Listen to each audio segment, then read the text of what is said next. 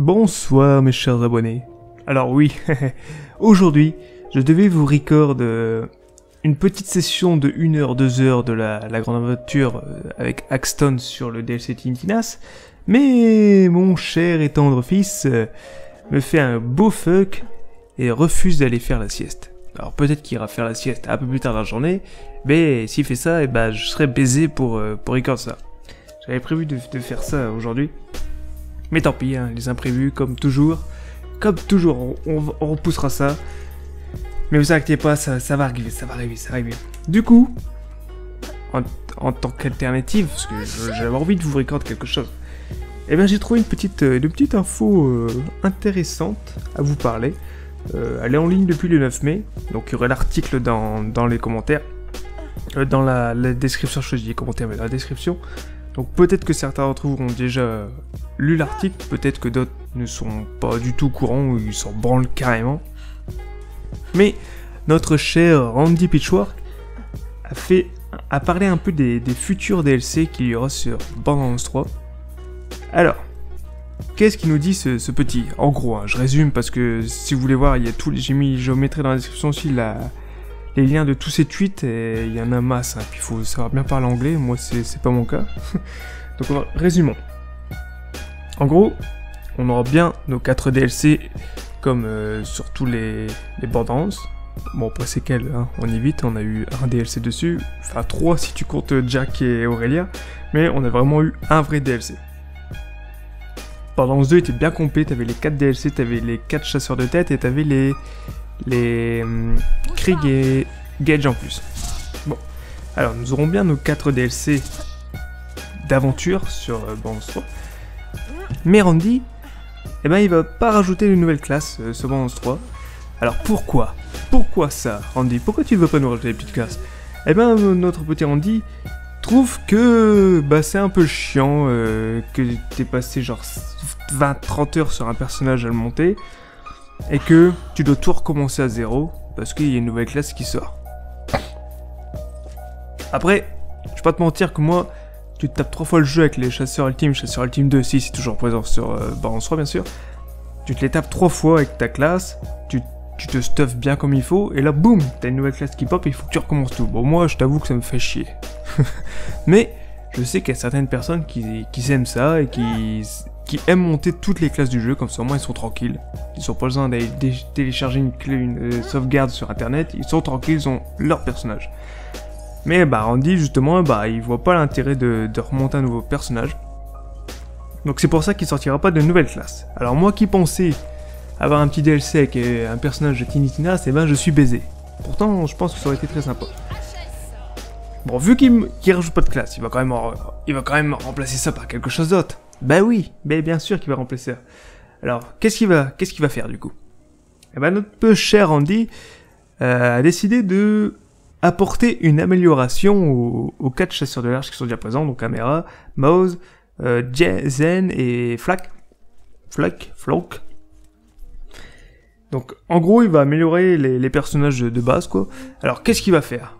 Moi, à part rajouter un nouvel arbre de compétences, je vois pas trop ce qu'il pourrait rajouter en amélioration. À voir. Après, à vous de spéculer, proposez-moi vos, vos idées, mais moi, à part rajouter un, nouveau, un nouvel arbre de compétences, je ne vois pas trop ce qu'il pourrait rajouter. J'espère toujours qu'il y aura quand même les, les DLC, euh, enfin c'est vraiment des DLC, les, les upgrades de level, genre de niveau 51, de niveau 50 à 61 et de 61 à 72, un peu comme ils ont fait bah, pour Borderlands 2. Donc j'espère qu'on aura toujours ça. Euh, les 4 DLC, j'espère aussi que sur les 3, euh, sur les 4, on en aura au moins un qui ressemblera au, au, euh, Underdome de Moxie, parce que j'ai vraiment aimé ce DLC là. Bon, on avait un peu. ils ont voulu faire un peu le même genre avec le DLC Torque de Bronze 2, mais j'ai pas du tout aimé ce, ce DLC. Donc j'espère qu'ils vont nous refaire un petit DLC arène à la hauteur. Donc voilà. Donc c'était vraiment un point rapide, hein. j'avais envie de vous en parler pour les personnes qui n'étaient pas au courant. Moi je trouvais, je trouvais ça bon, plus ça intéressant, tu vois. Même si j'aurais bien aimé avoir des nouvelles classes. Après, voilà, tu, quand tu vois le travail qu'il faut faire pour rajouter une nouvelle classe, je pense qu'ils ont pas voulu se faire chier. Ils ont dit, hop, hop, hop, hop, on rajoute pas de personnage. On a assez écouté les, joueurs pour Balance 3. Maintenant, les joueurs, ils aiment bien se concentrer sur leur personnage, donc ça ne sert à rien de sortir un, une nouvelle classe. Ajoutons plutôt une amélioration à leur personnage fétiche. Et puis voilà. C'est pas plus mal. Moi, moi je dis pas non. En plus, si ça rajoute un nouvel arbre de compétences, bah, il y a quasiment autant de travail, parce qu'il faut quand même que tu recrées toutes les, nouvelles compétences. Enfin bref, voilà. À voir, on verra bien ça quand on aura le, jeu entre nos mains. Vraiment hâte, parce que putain, vraiment, il faut encore attendre plus de deux mois, les gars. Plus de deux mois, tu te rends compte? Plus de deux mois avant que je reçoive mon petit coffre. Pareil pour ceux qui, qui le souhaitent, on peut faire un point vite fait sur les, différentes euh, les différentes versions euh, de Borderlands 3. Peut-être qu'il y en a qui veulent qui pas encore commandé le jeu. Ils, se posent des questions sur quelle édition prendre, qu'est-ce que je pourrais prendre. Voilà, pour ceux qui se posent la question sur quelle édition prendre, quel, euh, quel jeu je vais précommander. Alors, Bon, cette partie-là de la vidéo, ceux qui connaissent, vous pouvez vous barrer. Hein ça vous regarde pas, vous savez, vous connaissez tous ces éditions, mais il y a certaines personnes encore qui se tâtent, qui se disent putain, il y a trop d'éditions là, je sais pas trop quoi prendre. Donc déjà, tu peux soit acheter l'édition de base hein, à 70 balles, où tu auras juste, euh, juste le jeu, et peut-être que si tu précommandes cette édition-là euh, via Micromania ou autre, tu auras un petit bonus en plus. Bon, ensuite, tu as l'édition de luxe. Donc là, tu as Borderlands 3, bien sûr, attends, c'est normal. T'as les petits packs cosmétiques en plus, et puis un petit pack d'armes qui vont te donner des petites arches pour, euh, pour XP plus rapidement et dropper, euh, avoir un pourcentage de drop un peu plus élevé, un peu comme ils ont fait euh, 2. Et puis c'est tout.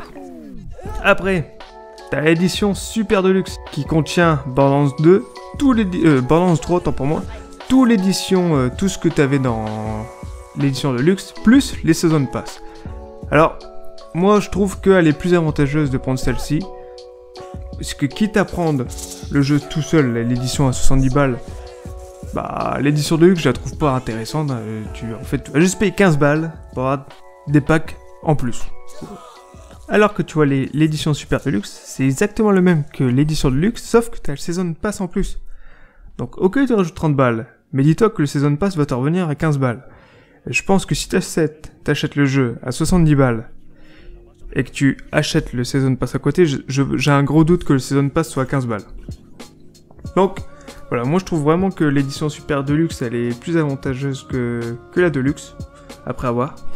Et puis enfin, tu as la Diamond Load Bow, Load Chest, donc le, collector, qui est à 200 euros sans le jeu.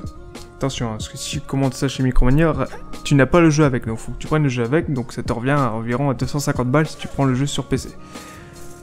Alors, Là-dedans, par contre, t'as as le max goodies. Je te laisserai aller voir la description euh, du collector dans, dans, la description de la vidéo. Le souci, c'est que le collector, pour l'instant, il me semble qu'il est en rupture de stock un peu partout. Moi, j'ai eu la chance de le commander le jour J où les, où les précommandes sont sorties. Donc, j'ai mon coffre collector. Moi, c'est bon. Il est, il est déjà payé et tout. Mais je sais que ceux qui cherchent le collector, eh ben, ça a un peu en rupture de stock un peu partout. Alors, est-ce qu'ils vont remettre du stock? Je ne sais pas. Mais moi, je pense évite d'aller sur le bon coin ou sur autre chose. Il y en a, il y a des mecs euh, dès qu'ils vont leur soir, ils vont te vendre ça 500 balles, 1000 balles. Voilà, donc sois patient. Peut-être qu'il y aura à nouveau des stocks dans les dans les boutiques. Je pense quand même. Mais voilà. Donc voilà. Donc point rapide sur les différentes éditions. Moi, je pense que pour les personnes qui veulent pas le, collector et qui veulent vraiment avoir un maximum de choses sur Monstre, je pense que l'édition Super Deluxe est la mieux. Certes, 100 balles, mais pour moi la mieux. Voilà. Donc moi je vous dis à très vite. J'espère que la, la grande aventure va arriver très vite. Puis voilà. Allez. Bisous